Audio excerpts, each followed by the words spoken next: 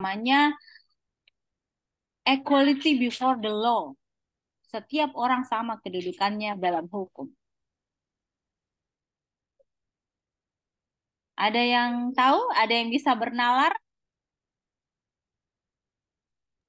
Karena Ya, hukum itu ya, sifatnya silakan. adil, Bu. Karena Karena hukum itu sifatnya adil, Bu. seharusnya ya sifatnya adil. Adilnya dalam apa misalnya? Kalau kita lihat ke praktiknya atau pelaksanaannya dikaitkan dengan adagium equality before the law ini. Di dalam Ya, satu adagium hukum, biasanya itu ada di mana ada masyarakat, di situ ada hukum. Jadi hukum itu kan sifatnya adil, terutama juga kalau di pengadilan itu harus adil. ya. Jadi sebenarnya tidak memandang ini berdasarkan eh, kedudukan sosial, tetapi ada orang yang membutuhkan penyelesaian lewat hukum, maka ada hak dan kewajiban yang dia harus jalankan untuk menyelesaikan suatu hukum, peristiwa hukum yang masuk ke dalam suatu pengadilan tersebut. Kemudian ada via justitia ruat column. Ini juga sudah pekan lalu, kemudian disebutkan ubi societas ibius, di mana ada masyarakat, di sana ada hukum. Karena kalau ada masyarakat tentu harus ada pengaturan, keteraturan, sehingga lahir ketertiban. Kemudian kita juga belajar unus testis nulles testis, artinya berdasarkan pasal 185 ayat 2 Kitab Undang-Undang Hukum Acara Pidana, maka untuk adanya keterangan yang dibutuhkan dari seorang saksi itu tidak cukup kalau hanya menghadirkan satu saksi. Jadi ini eh, tidak boleh eh, satu perkara hanya punya satu saksi. Ini berdasarkan adagium unus testis nullis testis. Kemudian ada juga adagium nullum delictum nulla poena sine pravia lege punali. Suatu peristiwa hukum tidak bisa diterapkan terhadap suatu peristiwa yang timbul sebelum aturan hukum yang mengatur tentang peristiwa itu dibuat dan diberlakukan. Jadi, tidak ada suatu perbuatan dapat dihukum kecuali atas kekuatan ketentuan pidana dalam undang-undang yang telah ada lebih dahulu daripada perbuatan itu.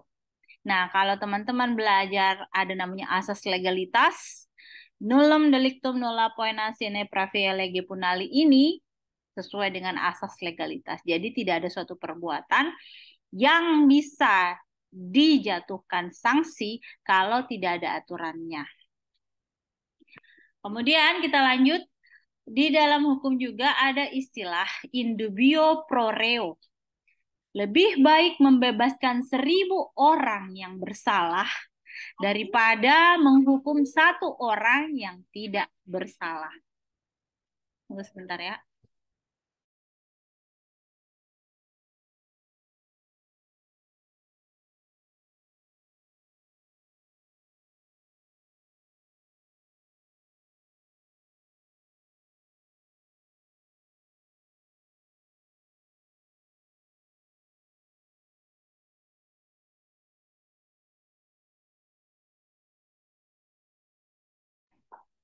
Jadi kemudian ada giumnya ini indubio pro reo ini sesuai dengan putusan Mahkamah Agung nomor 33 G, eh, tahun 2009 itu yaitu jika terjadi keraguan-raguan. Nah, di sini dalam eh, highlightnya atau yang difokuskan adalah apakah terdakwa salah atau tidak. Sebaiknya diberikan hal yang menguntungkan bagi terdakwa, yaitu dibebaskan dari dakwaan. Jadi tidak boleh in dubio pro reo. Harusnya lebih baik dia dibebaskan daripada dia dihukum padahal kemudian terbukti dia bukan pelaku. Itu bahaya sekali ya. Pernah ada kejadian orang sudah seorang pemuda itu dihukum dan sudah menjalani masa hukumannya 20 tahun. Kemudian terbukti ternyata bukan dia pelakunya. Nah, masa 20 tahun itu bagaimana kompensasinya bisa dibayarkan oleh negara? Kira-kira apa yang hilang dalam 20 tahun itu? Itulah yang disebut dengan ada ada gium yang menyatakan in dubio pro reo. Lebih baik membebaskan seribu orang yang bersalah daripada menghukum satu orang yang tidak bersalah. Nah, sekarang ada lagi ada giumnya. Asipere quid ut justitiam fosias non estem asipere quam exio quere. Menerima sesuatu sebagai imbalan untuk menegakkan keadilan lebih condong ke tindakan pemerasan bukan hadiah. Kira-kira ada yang bisa menalar ini atau memberikan asumsi pendapat dasarnya mengapa disebut menerima suatu sebagai imbalan untuk menegakkan keadilan itu lebih condong ke tindak pemerasan bukan hadiah.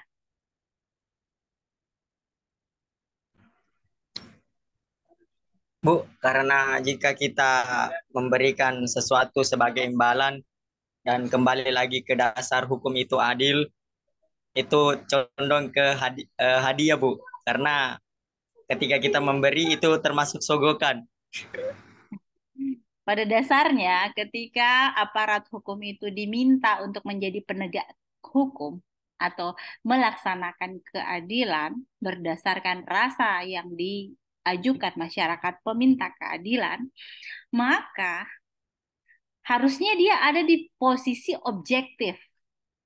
Objektif dalam hal apa? Bukan teori, tapi betul-betul melihat berbagai aspek yang tersa yang berkaitan dengan suatu peristiwa hukum tersebut. Tapi kalau dia sudah menerima sesuatu pada suatu kasus, untuk menegakkan hukum, padahal pada dasarnya dia sudah dibayar karena dia adalah aparat penegak hukum dari negara, maka ini jatuhnya dia melakukan pemerasan. Tidak ada hadiah di pekerjaan tersebut karena pada dasarnya dia sudah digaji kan sudah diberikan upah oleh negara. Dia hanya bertugas untuk menegakkan hukum atau melakukan law enforcement tidak bisa di situ dia dengan semena-mena minta, eh, ah, saya lagi urus perkara kamu, jadi kamu harus bayar saya. Tidak bisa. Itu imbalan, itu adalah pemerasan. Nah, itu ada adagium. Asipere quid ut justitiam posias non estem asipere quam exio quere. Nah, kemudian ada question intellectus et rei. Adanya kesesuaian pikiran dengan objek. Jadi prinsip ini hakikatnya merupakan rambu-rambu dalam merumuskan materi hukum yang telah diterima secara universal. Ada question, intellectus, et rei.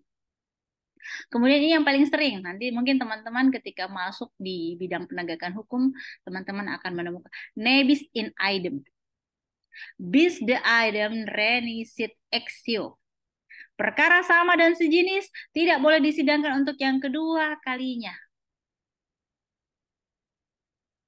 Pernah dengar ada perkara yang tidak eh, yang sudah diputus di pengadilan negeri, kemudian banding pengadilan eh, tinggi, kemudian kasasi pengadilan eh, Mahkamah Agung, kemudian PK peninjauan kembali. Tapi posisi PK atau peninjauan kembali pada suatu kasus membutuhkan apa teman-teman mahasiswa? membutuhkan novum atau bukti baru. Tapi bisa tidak dia direset lagi kembali ke kasus pertama kalau tidak ada bukti baru? Kita pakai adagiumnya nebis in idem. Tidak ada perkara yang sama atau sejenis itu boleh disidangkan untuk kedua kalinya. Tidak ada seperti itu. Nah, ada lagi culpae poena par esto Hukuman harus setimpal dengan kejahatannya. Karena yang diinginkan dalam pencarian keadilan oleh masyarakat itu adalah rasa keadilan. Nah, tetapi teman-teman harus tahu dalam konstruksi hukum, pencarian keadilan bukan sama dengan keadilan, tetapi hanya mendekati nilai keadilan. Karena penegaknya kembali lagi adalah manusia dan manusia memiliki kecenderungan-kecenderungan subjektif sehingga netralitas itu bisa saja tidak seimbang. Kenapa seperti itu ya? Karena produk manusia ya tentu masih memiliki relativitas. Nah, Bagaimana itu Bu maksudnya nanti Pi kalau kalian sudah berhadapan dengan bidang penegakan hukum. Yang jelas ada adagium culpae pona par esto. Kemudian cum adsun testimonia rerum quid opus est verbis. Saat ada bukti dari fakta-fakta, apa gunanya kata-kata? Jadi kalau orang bersidang itu dia butuh fakta atau dia butuh kata-kata? Butuhnya Fakta. Fakta. Makanya ada yang disebut dengan saksi, saksi ahli, barang bukti, barang bukti bisa barang bukti surat, tapi tidak dalam konstruksi hanya narasi atau kata-kata. Saya tidak bersalah yang mulia. Oke, silakan Sanusi. Sanusi mau bertanya. Silakan Sanusi. Mana Sanusi sudah angkat tangan baru bertanya? Tidak Bagaimana ada. Cara... Angkat tangan. Bagaimana cara angkat tangan? Kalau di Zoom itu Rumi paling bagus beretika itu dengan raise your hand. Oh, uh, Rumi mau dulu sambil tunggu Sanusi. Coba. Bu, bagaimana itu penjelasannya itu salah satu ada game hukum bahasa Jeneponto aktor aktori incumbent probatio. Siapa yang menggugat dialah yang wajib membuktikan. Bukan bahasa Jeneponto itu Rumi. Rumi itu tidak boleh orang hanya mengangkat satu identitas daerah. Nanti ada juga ada game dalam bahasa Jeneponto kalau sesudah ini. Kita bahasa Latin dulu atau bahasa yang paling sering dari bahasa Inggris dan bahasa dari benua Eropa seperti Belanda karena kita Eropa kontinental. Oke. Uh, siapa yang apa tadi ulangi?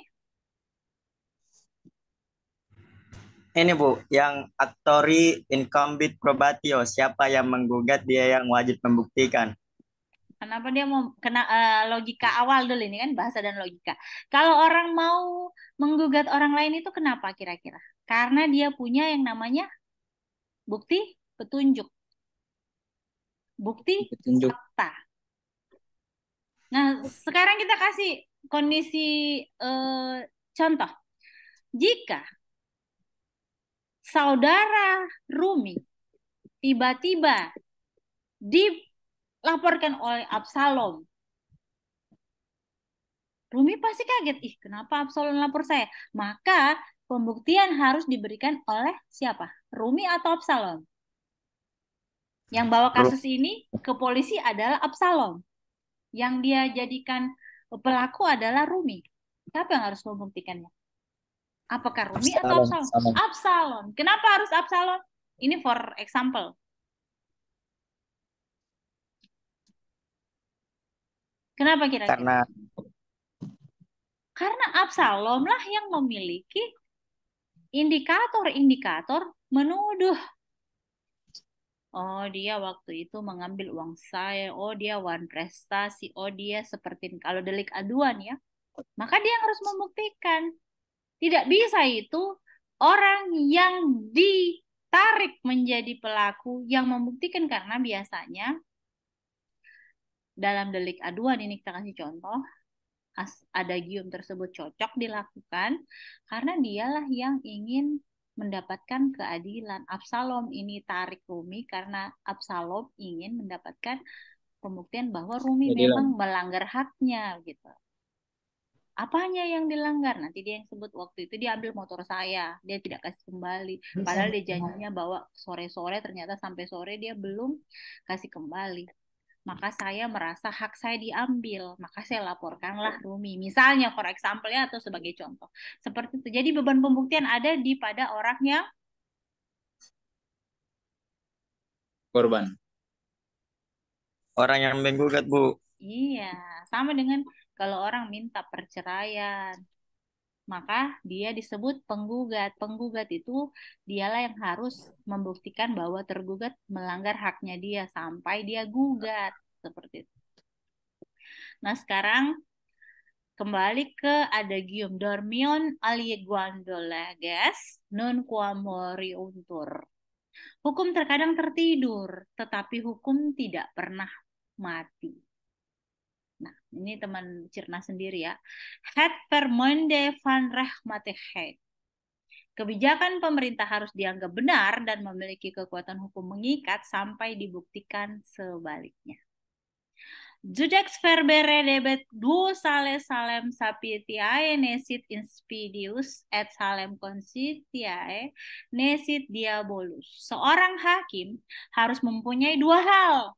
Suatu kebijakan, kecuali dia bodoh, dan hati nurani kecuali dia mempunyai sifat yang kejam. Jadi seorang hakim menurut Adagium ini harus mempunyai suatu kebijakan dan hati nurani. Oke, sekarang kita ke ternyata Adagium itu tidak hanya dalam bahasa luar Latin, Belanda, atau Inggris. Ada juga loh dalam bahasa Melayu atau bahasa Indonesia pada dasarnya. Misalnya, kita mengenal istilah air dicencang tiada putus. Ini untuk bidang hukum perdata ya. Kenapa kira-kira bidang hukum perdata kita pakai peribahasa Melayu air dicencang tidak putus? Hubungan persaudaraan antar manusia itu tidak dapat dipisah oleh suatu perselisihan. Kita kasih contoh. Misalnya adik dan kakak. Dia bersaing dalam hal memperebutkan motor Apakah karena dia lagi bermasalah soal siapa yang punya motor, kemudian muka, mereka bukan disebut kakak dan adik lagi? Tidak. Begitupun dengan hubungan orang tua ke anak. Sekalipun orang tua itu sudah bercerai, tapi antara ayah ke anak, ibu ke anak, itu tidak ada disebut bekas ayah, bekas ibu. Itulah yang dimaksudkan dalam peribahasa air dicencang tiada putus. Coba Meki ambil pisau paling tajam untuk membuktikan istilah air dicencang tiada putus. Coba Meki belah itu air. Apa yang terjadi kalau kita belah air? Putus tidak? Tidak, Bu. Yang tidak, ada Ibu. apa? Yang ada apa? Tak sambung ulang dia.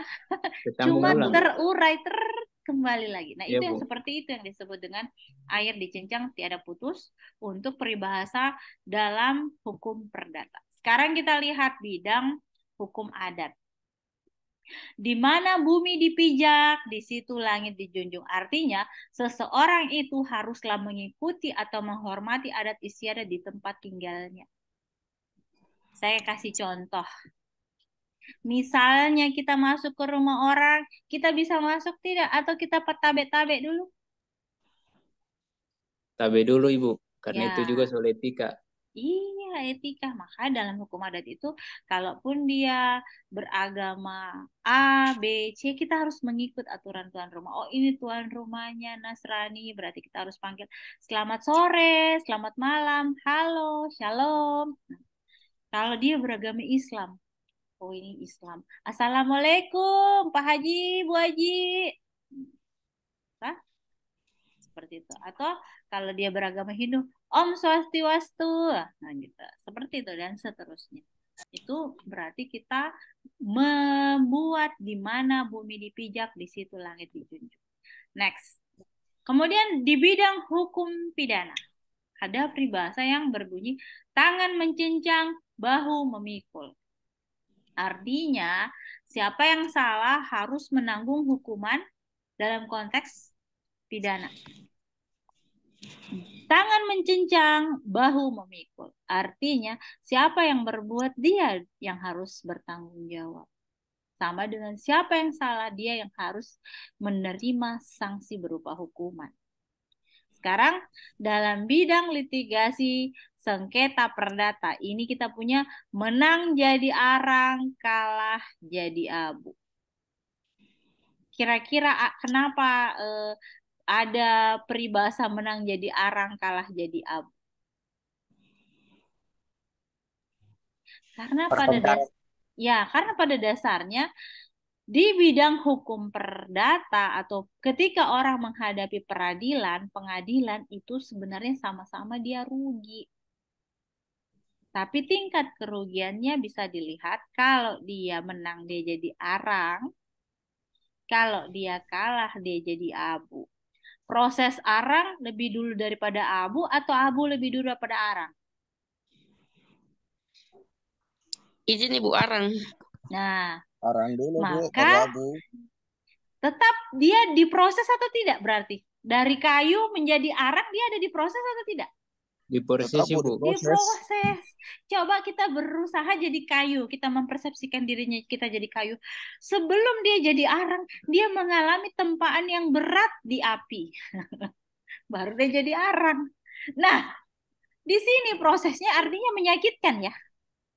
Yes, ya, Apatah Bu. lagi ketika dia menang, dia menjadi eh, kalau dia kalah dia menjadi abu.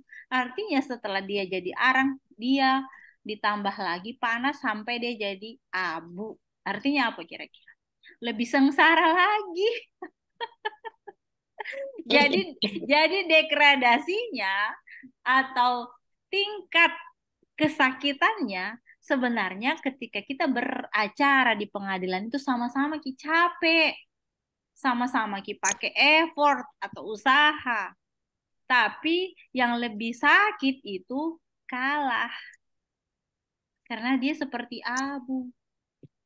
Sementara arang juga melalui proses sakit, tapi tidak sesakit kalah. Seperti itu. Jadi itu disebut ini peribahasa ini dalam konstruksi masyarakat hukum Indonesia memperlihatkan bahwa ketika kita mau berhadapan dengan hukum, pikirkanlah konsekuensinya. Kalau bisa diselesaikan secara mediasi, misalnya untuk litigasi di pengadilan, sengketa perdata, lebih bagus pakai sengketa mediasi lah. Daripada kita masuk litigasi, karena sama-sama capek. Satu jadi arang, satu jadi abu. Iya kan Bu Sunarsi? Iya, dia langsung ketawa Mandi Sunarsi. Tidak ada, saya, saya tidak pernah lihat orang itu di sana ketawa-ketawa memang di pengadilan negeri ya. Saya baru minggu lalu dari sana. Tapi sama-sama keluar uang, sama-sama capek, sama-sama tegang. Belum lagi nama baik yang harus dipertaruhkan.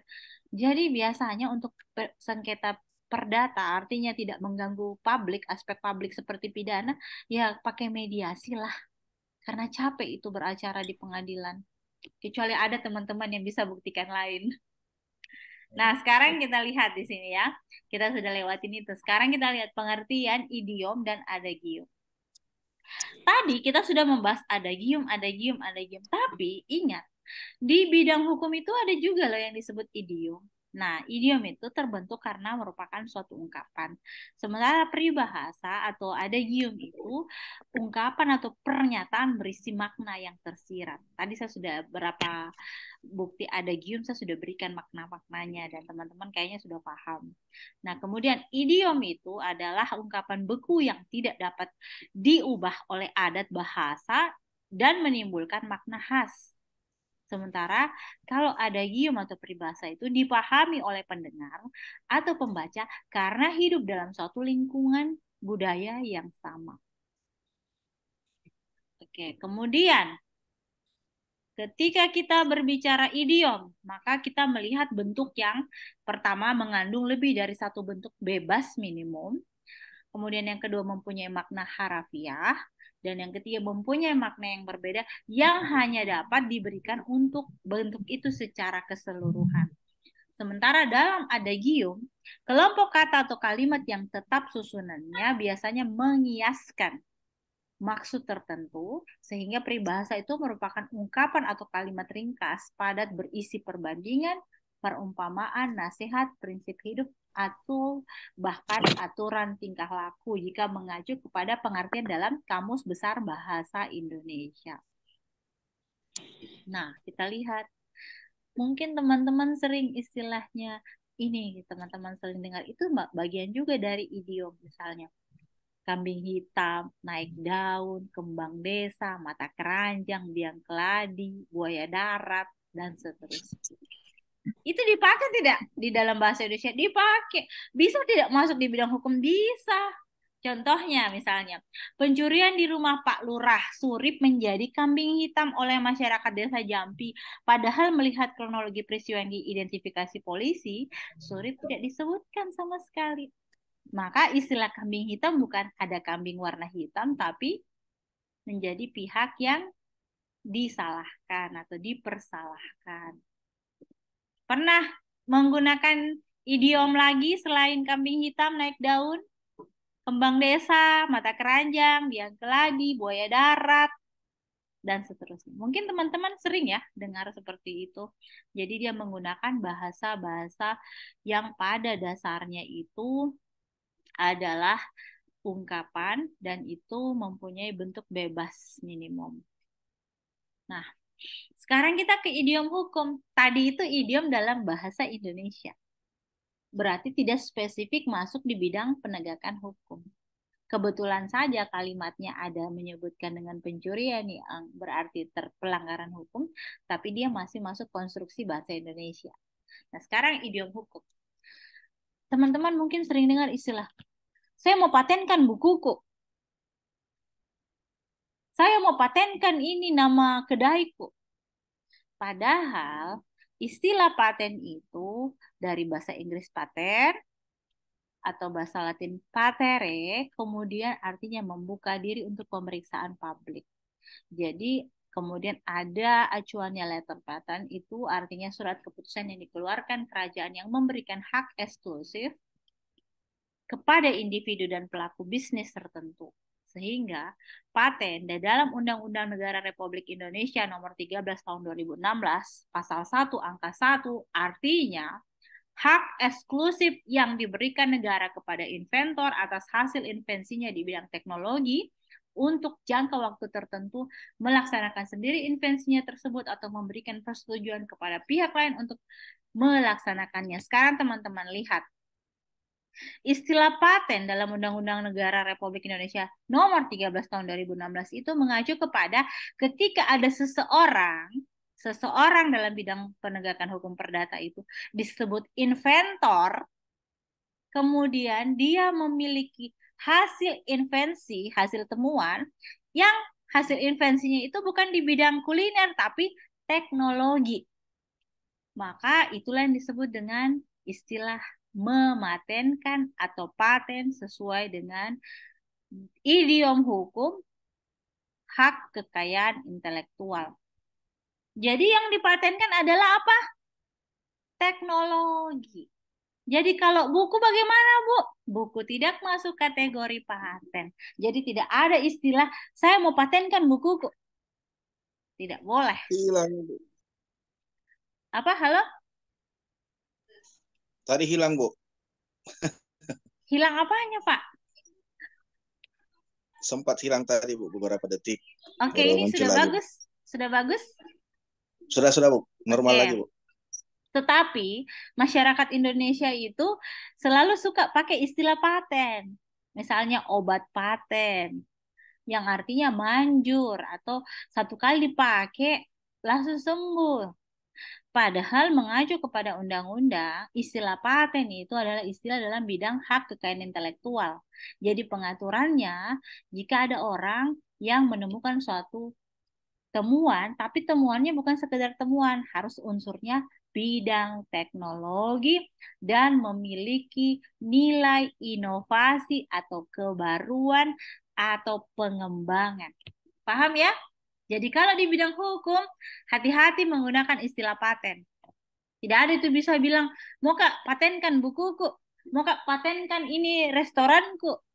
Kalau nama restoran berarti merek. Kalau untuk buku mau didaftarkan kekayaan intelektualnya berarti hak cipta. Jadi jangan pakai istilah paten. Ya, tapi kalau bilang Patennya itu betul, berarti dia hanya menggunakan dalam istilah bahasa harian, bukan dalam bidang kekayaan intelektual. Bisa seperti itu? Iya, memang bisa seperti itu. Kenapa bisa seperti itu? Karena istilah antara kehidupan normally atau daily, rutin, bisa berbeda dengan istilah di bidang penegakan hukum. Ya, sekarang kita lihat istilah selanjutnya dalam idiom hukum. Gratifikasi. Kita pakai pasal 12B Undang-Undang Nomor 20 Tahun 2001 tentang perubahan atas Undang-Undang Nomor 31 Tahun 99 tentang tindak pidana korupsi. Nah, ada tujuh dari 30 klausul terkait dengan tindakan korupsi. Nah, dari tujuh pengaturan korupsi itu, salah satunya adalah gratifikasi. Nah, ini gratifikasi masuk kategori korupsi loh. Kenapa bisa? Kita lihat definisinya. Dalam konstruksi Undang-Undang Nomor 20 2001, istilah gratifikasi ini adalah pemberian dalam arti luas, yakni meliputi pemberian uang, barang, rabat atau diskon, komisi, pinjaman tanpa bunga, tiket perjalanan, fasilitas penginapan, perjalanan wisata, pengobatan cuma-cuma, dan fasilitas lainnya. Gratifikasi bisa saja dilakukan di dalam aktivitas negara dalam negara Indonesia ataupun di luar negeri yang dilakukan dengan menggunakan sarana elektronik atau bahkan tanpa sarana elektronik. Makanya banyak pejabat kita menduduki jabatan, dia tidak masuk kategori korupsi dalam ranah merugikan keuangan negara atau mengambil dananya negara, tapi justru kena di bidang gratifikasi. Kenapa dia bisa kena di gratifikasi, Bu? Kan orang kasih dia boleh saja tuh, Bu. Saya kemarin saya kasih makanan temanku, Bu. Eh, berapa nilainya itu yang kita kasih ke teman tak, nak? Kalau cuma 10 ribu, 15 ribu, tidak hitung gitu gratifikasi. Lagian teman tak bukan pejabat toh. Ini ada unsur pejabat. Jadi gini, uh, kenapa orang mau kasih hadiah ke orang lain? Biasanya ada maunya ibu. Nah, gratifikasi ini karena orang pegang jabatan. Nah, Ibu Andi sudah iya. Kalau caleg bukan hitungan gratifikasi lagi kalau dia cuma serangan 100 200 ribu. Nah, ini memang langsung kelihatan prakteknya itu. Jadi gini, dia pejabat di suatu instansi. Harusnya ketika memutuskan nanti mengerjakan proyek A, itu dilakukan tender proyek atau dibuka lelang terbuka perusahaan-perusahaan yang akan dilihat kompetensinya dan kemudian dikasih bersaing. Yang terbaik itu yang akan dipilih menjadi partner untuk mengerjakan proyek A. Tapi kemudian karena kita kasih ini pejabat uh, tiket wisata jalan-jalan ke Eropa selama satu bulan penuh, akhirnya dia tidak membuka tender atau dia tidak mengadakan lelang, tapi langsung melakukan penunjukan. Nah, kalau begitu kerugian negara di mana, Bu? Nah, kadang-kadang orang yang ditunjuk ini tidak kompeten karena pada dasarnya dia tidak memiliki kompetensi full. Jadi ketika dia mengerjakan proyek ini asal-asalan dan itu efek gratifikasi jelek, merugikan orang lain. Paham ya sampai sini? Kalau ada yang mau bertanya silahkan. Kalau tidak kita lanjut. Oke. Okay. Tanya Bu, izin. Iya, silakan. Angkat tangan tadi sudah iya, dibilang ya, mekanismenya angkat tangan ya, silakan. Oh, siap, siap. Rusli, silakan Pak Rusli. Hati-hati bawa mobil. Ya, Bu, makasih. sudah, Bu. Makasih, Bu. Uh, saya mau tanya ini terkait gratifikasi, Bu. Uh, terkadang kan gini, ketika ada semacam apa namanya transaksi Eh, kita memberikan pekerjaan ke orang karena dari sisi kompetensinya memang sesuai dan tidak menyalahi prosedur. Terkadang orang yang kita berikan itu kan sudah budaya kita uh, Bugis Makassar ada ada rasa terima kasih bu. Ada rasa walaupun hal itu tidak diminta uh, karena mungkin secara tidak langsung uh, mungkin dia merasa apa namanya dengan adanya kita bisa ini walaupun dia tetap mengikuti prosedur. Bagaimana seperti itu, Bu? Ini kan tidak ada unsur apa namanya permintaan, tidak ada pembicaraan di awal. hanya mungkin rasa terima kasihnya orang itu sehingga dia memberikan kita sebagai ucapan terima kasih walau tanpa diminta. Oke, Bagaimana seperti itu, Bu? Oke. Pak Rusli Umar kerja di bidang publik atau swasta, Pak? Di BUMN, Ibu, Ya. Kalau istilah terima kasih pada saat yang berbeda dengan korupsi, dengan gratifikasi adalah ketika ada orang sudah didudukan pada satu jabatan, dia baru mengeluarkan ucapan terima kasih, itu gratifikasi. Kenapa dia disebut harusnya tidak menerima? Dan dia berbeda dengan unsur suap menyuap. Gratifikasi itu berbeda lagi gradasinya dengan suap menyuap ya. Suap dilakukan sebelum orang menduduki jabatan, sementara gratifikasi diberikan setelahnya. Nah, gratifikasi itu memiliki nilai besar, Pak. Jadi kalau cuma memberikan satu buah pulpen, tidak masuk kategori gratifikasi. Hanya mengajak makan siang, tidak gratifikasi. Kue dua toples, tidak jadi gratifikasi ini baru harus wajib dilaporkan oleh pejabat publik ketika ada nilainya. Nilai di bawah 10 juta, Pak. Urusli menurut ketentuan undang-undang, nilai di bawah 10 juta itu pembuktiannya oleh yang bersangkutan yang memberikan gratifikasi. Nilai di atas 10 juta pembuktiannya oleh jaksa penuntut umum. Itu aturan undang-undang. Jadi nilainya tidak boleh kecil. nilainya pasti besar. Makanya tadi disebutkan di sini. Coba kita lihat lagi slide saya ya. Uh, kita lihat slide-nya Ibu. Itu adalah, lihat semua teman-teman lihat. Di sini disebutkan pemberian uang, barang, diskon atau rabat, komisi, pinjaman tanpa bunga, tiket perjalanan, fasilitas penginapan, perjalanan wisata, pengobatan cuma-cuma, dan fasilitas lainnya yang nilainya itu, Pak, tidak main-main.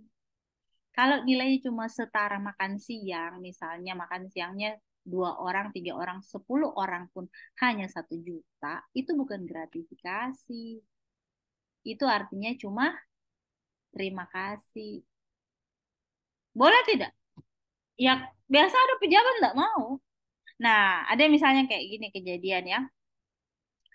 Uh, setelah uh, paling sering ini ya, pejabat itu tidak mau terima pemberian. Tapi begitu dia menikahkan anaknya, kemudian pasolonya, mungkin teman-teman yang ada di wilayah Sulawesi Selatan paham istilah pasolo ya. Pasolonya itu diberikan kan langsung dikasih jatuh di situ di kotak. Itu nilainya 10 juta. Nah, pasti ada namanya di situ.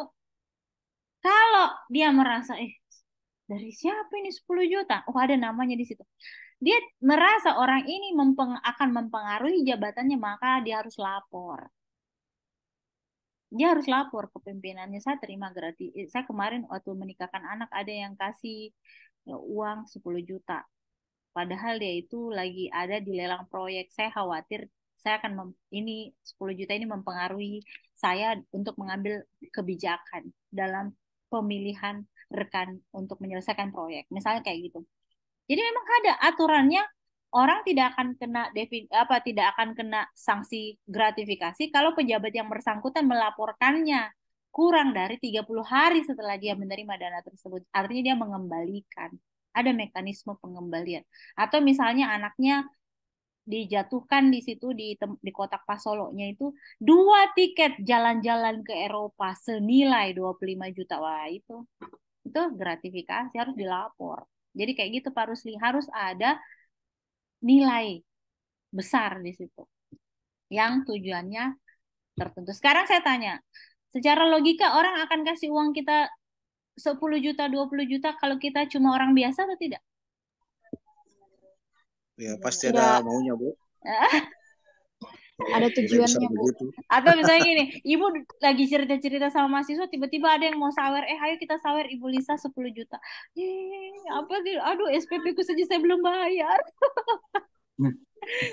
Jadi seperti itu. Jadi ada motifnya orang melakukan gratifikasi. Kemudian saya minta tolong kepada teman-teman meluruskan ya. Orang Indonesia itu memang sangat baik. Tapi dalam kebaikannya itu perhatikanlah tidak semua hal harus diterima kasih dengan biaya besar karena itu mempengaruhi pengambil kebijakan. Seperti itu. Dan itu mempengaruhi apa? Penegakan hukum sebenarnya. Seperti apa penegakan hukumnya? Saya sudah kasih contoh tadi. Oke, kita kembali lagi. Selain istilah paten dan gratifikasi, kemudian ada juga istilah deponering dalam bahasa Belanda. Dari istilah deponeren yang artinya menyerahkan, melaporkan, mendaftarkan. Istilah ini lazim dalam hukum dagang, hukum administrasi maupun perpajakan. Jadi konteksnya seperti ini kalau dalam bahasa peraturan Indonesia pengesampingan perkara demi kepentingan umum yang tidak tepat sebenarnya, yang lebih tepat sebenarnya dari pandangan ahli bukan istilah deponering, tapi seponeren. Ya, itu itu itu masalah dalam penegakan hukum juga karena kita banyak mengambil istilah dalam bahasa asing seperti bahasa Belanda, maka kadang-kadang konstruksi penafsirannya bisa berbeda dengan bahasa asal. Seperti biasa orang menyebutkan reh subjektif reh, dan objektif reh. Terkait istilah yang diterjemahkan menjadi hak, padahal antara subjektif reh dan objektif reh tidak bisa diartikan hanya reh atau hak, hanya hukum.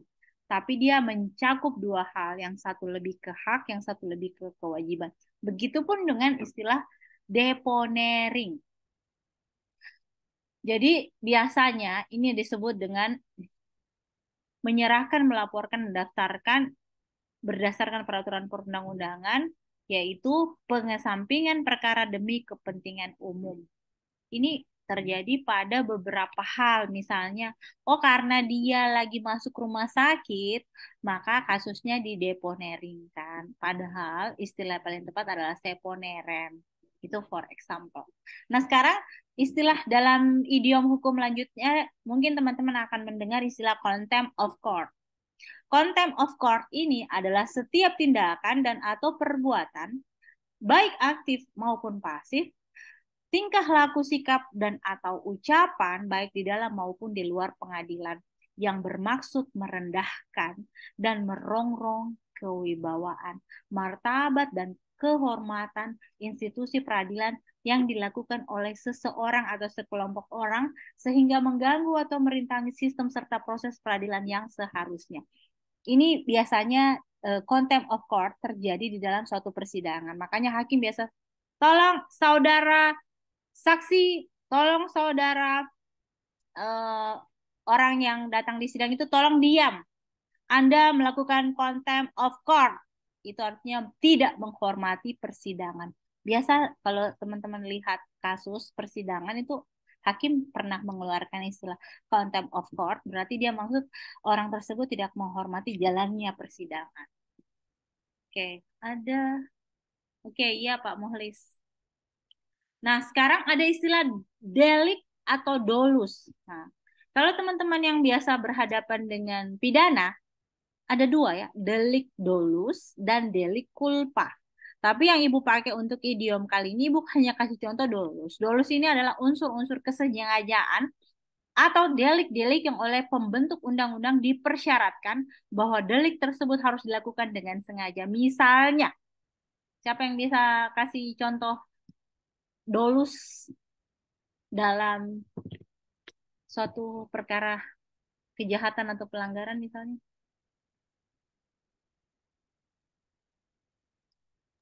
Coba tadi Bu ulang materi tak. Jadi, ini ada di situ poin nomor 5, delik dolus. Contohnya apa? Itu saja. Pembunuhan berencana, Bu. Nah, itu dolus. Karena aspek berencananya itu berarti dia bersengaja. Misalnya apa, Zul? Kenapa dia disebut berencana?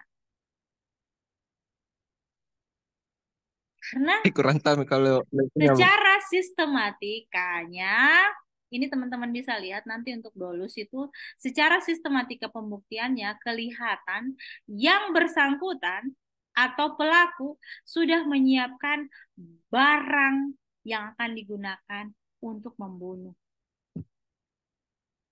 Bahkan terlihat oleh saksi misalnya tetangganya, dia mengasah pisaunya pada jam 14.00. Dia menunggu di pojok jalan tersebut. Nah, itu sistematikanya itu sudah menunjukkan unsur kesengajaan. Maka deliknya adalah dolus, kesengajaan. Tetapi berbeda dengan delik kulpa atau kelalaian. Misalnya gimana itu kelalaian Bu dalam hukum pidana? Izin Ibu menjawab.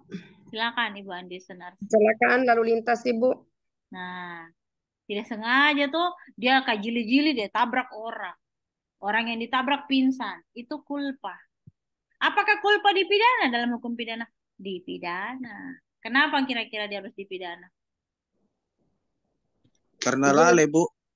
Ya, Izin Ibu karena dipidana ya, tapi eh, eh, hukumannya ringan karena ya, masih unsur kelalaian. unsur kelalaian dia dipidana, tapi tetap dipidana disebut ringan atau berat tetap harus ada sanksinya. Tapi beda dengan dolus yang memang sengaja. Bisa tidak orang sudah melakukan dolus lepas? Bisa, Bu. Oh, Bisa ada contohnya nih Pak. Rusli. Ya, misalnya Bisa Ibu kalau dia dapat celahnya. ya itu. Belajar dulu, Bu. itu itu eh, no comment saya itu. Karena itu jawaban praktikalnya itu. Kalau jawaban normanya tidak bisa harusnya. Ya?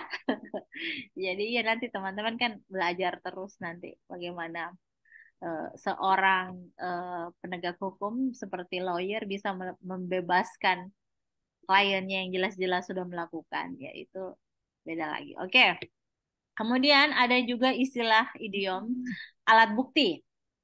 Segala sesuatu yang menurut undang-undang dapat dipakai untuk membuktikan sesuatu. Maksudnya segala sesuatu yang menurut undang-undang dapat dipakai untuk melihat benar atau tidaknya suatu tuduhan atau gugatan. Misalnya alat bukti apa?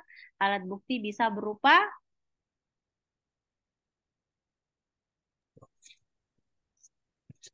nanti teman-teman pelajarin alat bukti itu bisa berupa eh, Surat. surat, ya, bisa Surat keterangan saksi, keterangan tersangka, keterangan ahli, ahli, ya. petunjuk, keterangan ahli, petunjuk. keterangan terdakwa. Oke, nah Ada lima, Bu. alat bukti, oke. Nah, kemudian yang ketujuh dalam ad- eh, idiom ada bergelik reh atau hukum perdata. Kausa dasar hukum istilahnya. Kausa itu adalah dasar hukum sebab alasan di dalam istilah Belanda yang dikenal dengan groundwet atau biasa disebut dengan norma dasar, ground norm. Basicing itu berupa dekrit atau keputusan. Kan yang paling sering bingung orang, apa bedanya eh, keputusan dengan putusan? Jadi itu semua istilah hukum. Putusan dengan keputusan sama atau tidak? Beda, Bu. Nah, putusan ada di bidang Putusan ada biasanya di persidangan, Bu. Nah, Kalau kalau keputusan ada di umum. Keputusan itu umum, Bu. itu General. biasa lahir dari pimpinan, misalnya SK seperti itu. Jadi dia sifatnya basicing dan seterusnya. Sekarang kita ke, nah ini baru katanya Rumi tadi istilah Izin, Bu. Ponto. Nah, iya, oh silakan Pak eh, Rusli, silakan Pak Rusli. Makasih, Bu. Tadi disinggung, Bu, terkait eh, apa barang alat bukti ya, Bu ya. Ya. Ya, saya mau tanyakan, Bu, Eh, karena tadi saya sempat dengar eh, dari beberapa yang disebutkan teman-teman seperti Pak Absalom sempat sebut yang namanya surat, Bu. Iya. Nah, pertanyaan saya untuk WA, Bu, apakah itu bisa menjadi kategori alat bukti, Bu ya? Dalam Undang-Undang ITE dia disebut dengan sesuatu yang ditransmisikan. Jadi bisa kalau di Undang-Undang ITE. Kejadiannya berarti menggunakan aturan norma dari Undang-Undang Informasi Teknologi Elektronik Pak Rusli Umar. Tapi pada kejadian perkara biasa bisa saja bukti surat itu tertulis seperti itu. tertulis eksplisit seperti itu Pak. WhatsApp atau screen dari media sosial itu bisa menjadi barang bukti, tetapi dilihat dulu konteksnya, konteks uh, unsur pasal yang dikenakan. Pada peristiwa hukum apa seperti itu Pak Rusli. Ada contoh kasusnya Pak Rusli mungkin? Uh, misalnya contoh Bu, uh, terjadi transaksi tetapi kesepakatannya melalui WA Bu. Oh iya, uh, kemudian secara perdata iya, bisa saja. Iya Bu. Kemudian dari kesepakatan itu salah satunya tidak amanah. Apakah itu tadi yang saya tanyakan Bu WA itu bisa menjadi alat bukti untuk Dia buat menuntut? dia dia buat klausul di atas ber, uh, kertas bermaterai atau tidak? Uh, cuma anu Bu, uh, perjanjian via WA Bu. Jadi ceritanya antara si A dan si B ini berteman. Kemudian mereka melakukan Ada semacam bukti transaksi. transfer dana tidak? Uh, kalau transfer dana ada, ada bukti transfer dana. Biasanya begini Pak, kalau ini berarti bidang hukum perdata ya. Oh, bidang hukum perdata itu kan yang dimulai pertamanya eh, ada unsur iktikat baik. Yang kedua ada klausul halal. Yang ketiga ada eh, yang akan diperjanjikan baik barang dan jasa dan sifatnya halal. Dan yang keempat ada para pihak. Dan semuanya itu dituangkan dalam klausul konsul, konsensualisme namanya. Kesepakatan. Dan kesepakatan dalam bidang perdata paling valid itu pasti tertulis, Pak. Makanya disebut bermaterai. Tapi kalau tidak, agak sulit biasa pembuktiannya. Kenapa hari gini masih ada yang mau begitu ya? Eh, bahkan kan boleh orang bertransaksi jarak jauh, tapi dia menggunakan tanda tangan elektrik dalam penandatanganan klausul seperti itu. Jadi eh, kalau tidak berhati-hati bisa jatuh ke kerugian kepada pihak yang membayar sih Pak sebenarnya. Seperti itu. Iya, oke. Kalau anu Bu Iya, izin, kalau iya. misalnya pemberian kuasa Bu, apakah yang memberi kuasa itu wajib bertanda tangan di atas materai atau cukup bertanda tangan saja tanpa ada materai Bu? Harus bermaterai, Pak. Indonesia semua sekarang kalau mau kesepakatan konsensualisme bermaterai. Kalau tidak bermaterai biasa dianggap hanya sekedar kesepakatan, tetapi ketika ada masalah ya sulit dikonfrontirnya, Pak. Oh berarti biar pemberian kuasa tetap harus tanda tangan di atas materai Bu ya? Iya, Pak. Coba Megi mau daftar pekerjaan saja, Pak. Materai sepuluh ribu, Pak. Mau Ki, urus surat cipta, hak cipta pakai materai, bolak-balik toh. Bagaimana Ibu Andi. Sunarti? Sunarsi? Baik. Iya. Tidak, tidak laku Bu. Kalau surat cinta tidak laku bikin surat-surat sekarang Bu. Laku Ji, kan eh, lihat konteksnya. Kalau konteksnya untuk hubungan individual ngapain pakai materai? Tapi kalau dia mau diresmikan, makanya pakai materai. A- Harus ada kalau begini ya, kalau di bidang hukum adat, ini beda konteks dengan bidang hukum negara. Jadi kalau di bidang hukum adat orang bersepakat dengan tanpa tulisan, hanya lisan. Selama dia ada saksi juga bisa, Pak. Jadi kan barang bukti selain surat bisa bukti saksi. Seperti itu. Paham ya? Baik, sekarang kita lihat. Ini dalam bahasa Jeneponto kayaknya ini.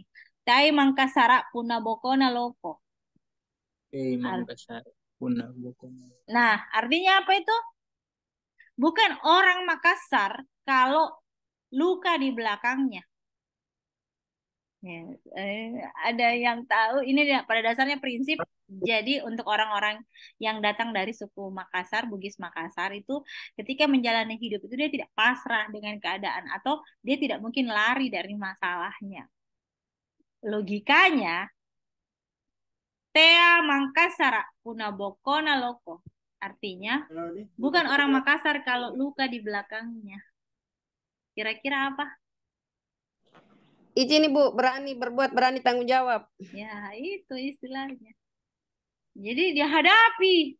Karena dia tidak mau kelihatan belakangnya ini sampai luka. Dia tidak ada kasih lihat begininya. Oke, paham ya? Jadi sebenarnya, Berarti eh, ya, ya, ber- berarti contohnya Bu sudah sudah makan cuci piring. Itu iya, kalau di toko sudah makan bayar. Tidak perlu cuci piring. Jadi eh, bentuk pertanggungjawabannya bayar. Kalau di rumah cuci piring.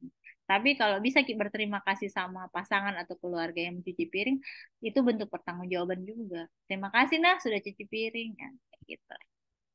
Oke, sekarang ingatlah bahasa menunjukkan bangsa.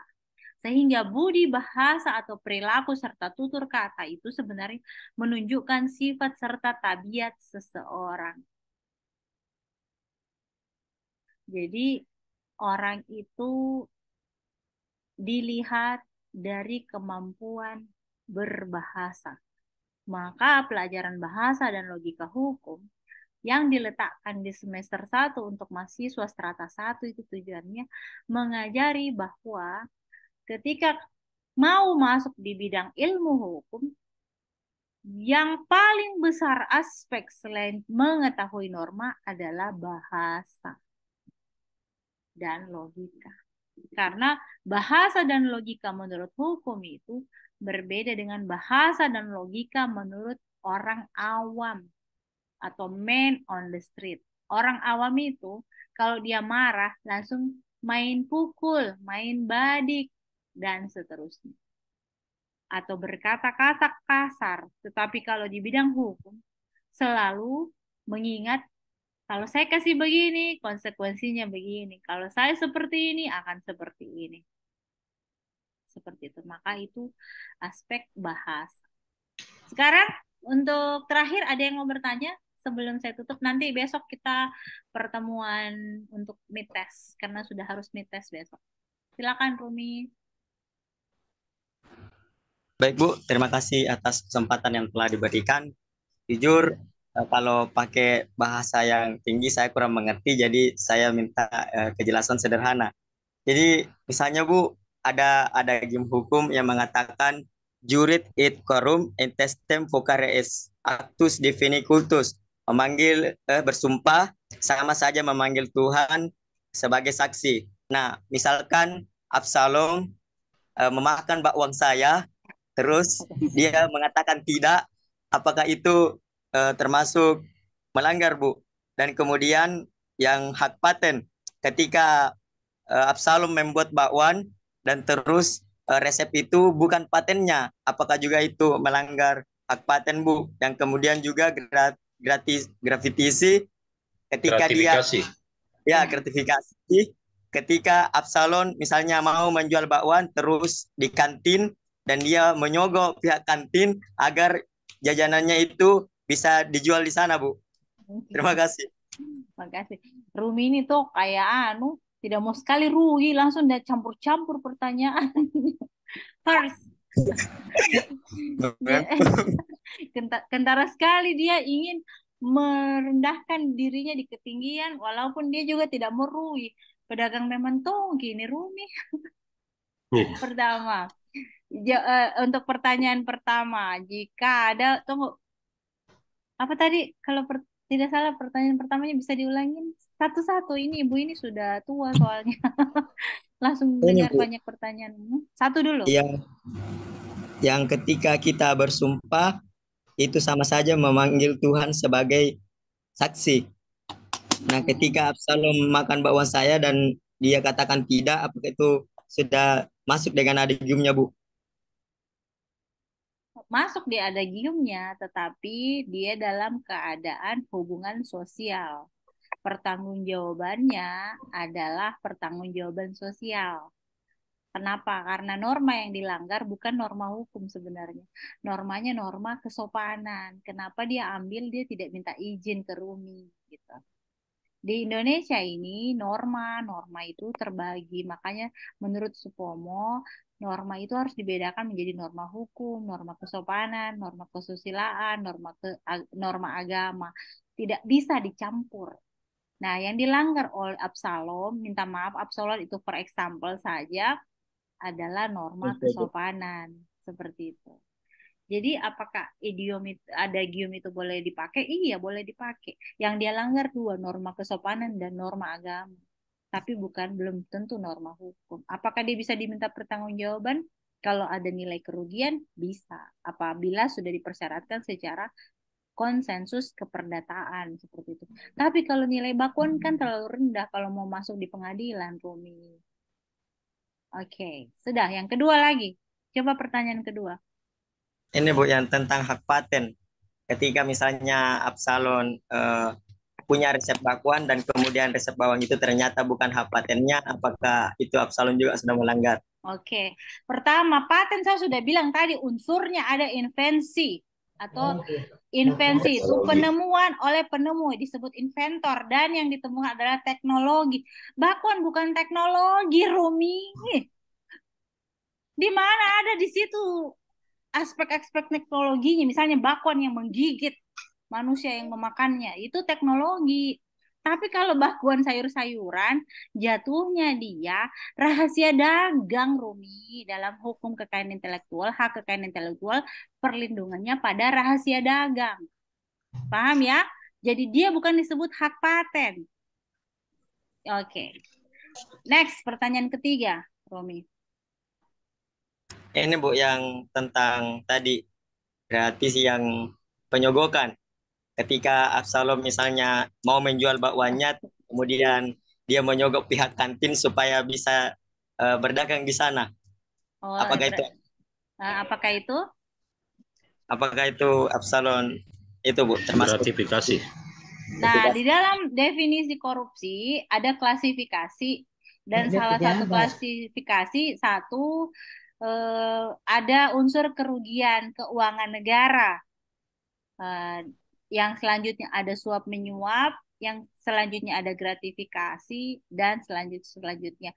Nah, bahkan di dalam korupsi suap menyuap berbeda dengan gratifikasi. Jadi unsur gratifikasi dalam perbuatannya Absalom, for example, tidak masuk kategori gratifikasi. Mungkin hanya persoalan suap. Tapi karena nilainya tidak dilakukan pada posisi e, ibu kantin yang seorang pejabat atau seorang instansi negara, maka kategorinya ya hanya perbuatan suap kepada ibu kantin. Apa bisa dipidana? Nilainya lagi dilihat. Kalau nilainya hanya 1.500 atau 10.000 atau 20.000, ya diselesaikannya secara biasa saja. Diajak bercerita begitu. Absolom, minta maaf dulu sama Rumi. Bukan Tin, seperti ini ya. Jadi bicara-bicara artinya normanya masih norma kesusilaan, kesopanan saja. Seperti itu ya. Jadi eh, sebelum saya tutup, teman-teman, kita memang belajar ilmu hukum. Ya. Tetapi jangan cara berpikirnya itu semua harus berakhir dengan hukum. Karena kalau seperti itu, Anda jadi kayak orang Amerika, dicolek sedikit masuk pengadilan, dicolek sedikit masuk pengadilan. jadi cara berpikir litigasi itu cara berpikir yang merugikan sebenarnya. Karena proses litigasi saya sudah sudah, sudah sebut tadi di, di bidang hukum perdata saja menang jadi arang, kalah jadi abu itu sindiran sebenarnya sama-sama kayak rugi capek. Ya, seperti itu. Oke. Okay? Cukup jangan seala litigasi banget ya. Kalau bisa hindarin saja berkonflik seperti itu. Mengetahui mendapatkan pengetahuan hukum bukan berarti teman-teman harus selalu hanya ingat menyelesaikan melalui jalur hukum. Dan itu jalur hukum aduh capek deh. Pengetahuan hukum itu sebenarnya hanya untuk membuat masyarakat sadar hak dan kewajibannya Baik, terima kasih atas perhatiannya. Mohon maaf apabila ada kesalahan dalam penjelasan Ibu malam ini. Silakan istirahat. Assalamualaikum warahmatullahi wabarakatuh. Selamat malam. Waalaikumsalam. Materinya nanti Bu di share Bu. Waalaikumsalam. Ya, saya bagikan materi. Iya, makasih semua. Terima kasih, Bu. Iya.